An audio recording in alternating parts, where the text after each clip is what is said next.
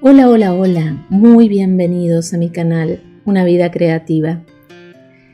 En este mensaje de creatividad te quiero compartir uno de los atributos de la rueda sagrada. Y ese atributo es saber aprender a soltar. Tal vez en algún momento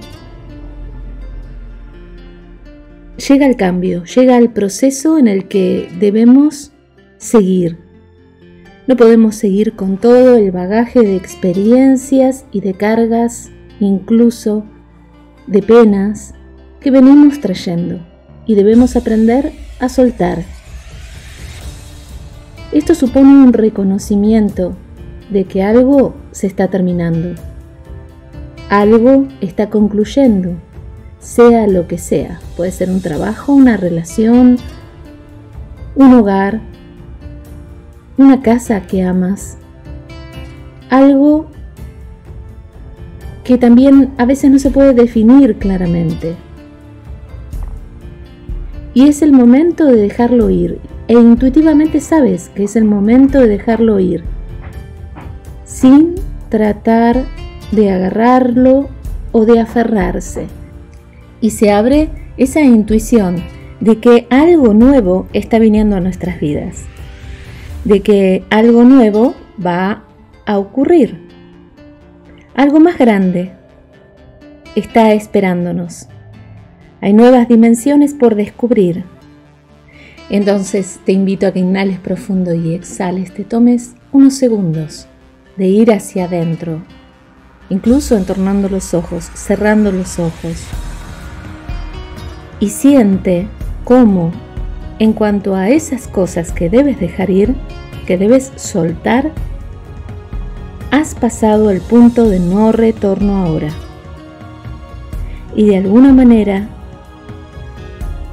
el trabajo que comienza a darse en tu vida es el de la liberación, dejando atrás esos pensamientos obsesivos de preocupación o de querer controlar.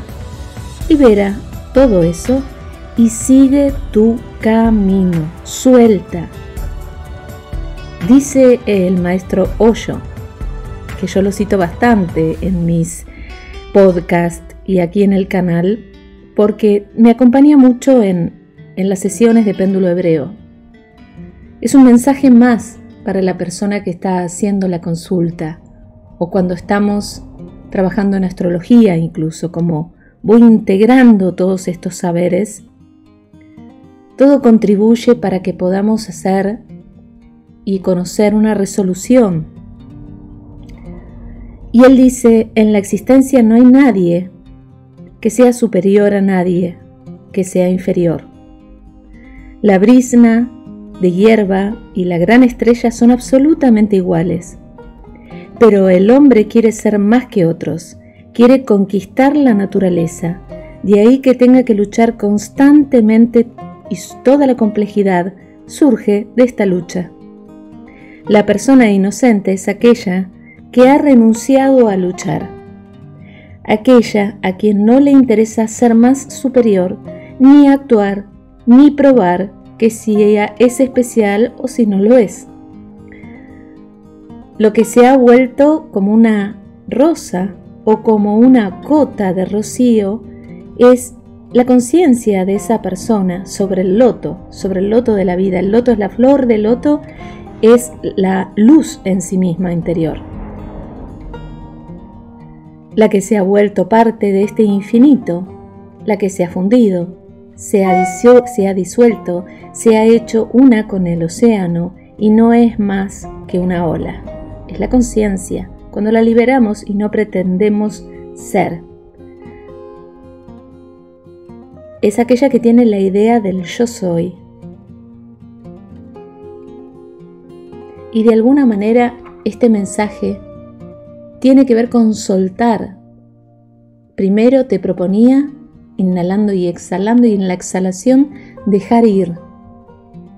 Aceptar que lo que se dio se dio como se dio en nuestra historia y que todas esas expectativas hay que soltarlas, crear espacio interno para lo nuevo, y muchas veces cuando caminamos la rueda chamánica es para ver qué cosas aún están, estamos sosteniendo en cada punto cardinal de la rueda.